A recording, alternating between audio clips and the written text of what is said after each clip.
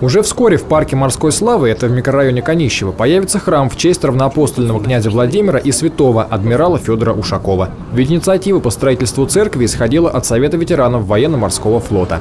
Территория, отведенная под храм, находится на окраине сквера и составляет 1200 квадратных метров. Эта территория, конечно, будет благоустраиваться вместе с храмом. И, э, собственно, сегодня такой первоначальный этап, поскольку в апреле совсем недавно было получено разрешение на строительство.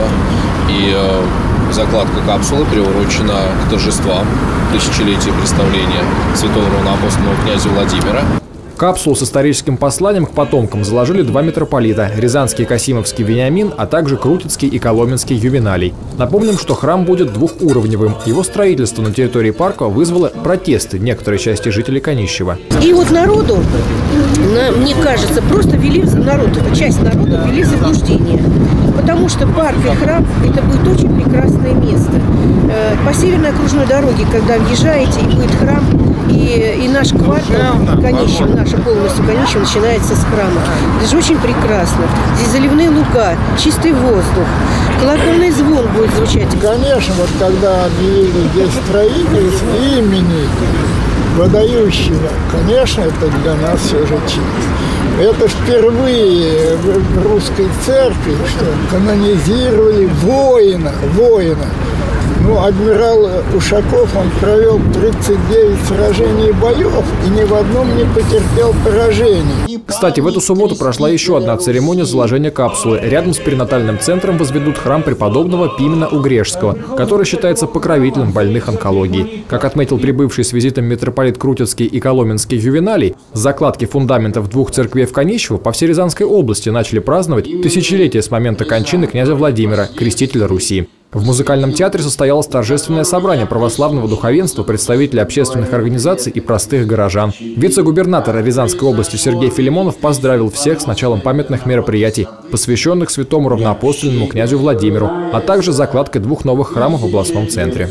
Я уверен, что здания храмов станут настоящим украшением нашего любимого города, но уверен, что здесь также будет происходить самое главное. Будут украшаться наши души, когда мы будем молиться за сохранение и процветание нашего любимого Отечества и нашей любимой Рязанской земли.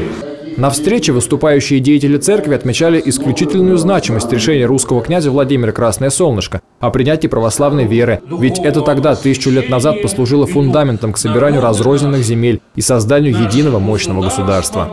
Оглядываясь на ушедшие столетия, мы с уверенностью свидетельствуем, что это был верный выбор. И не было бы православия, не было бы великого наследия духовного, культурного, исторического, археологического. Каким путем мы прошли бы тогда? Да и существовало бы сегодня наше государство. Несомненно одно – оно бы было совсем. Историческое решение великого князя Владимира о принятии православной веры можно оценить лишь спустя много веков. За это время Россия на базе полученных общемировых ценностей далеко шагнула в своем развитии, являясь и до сих пор высокоразвитым государством.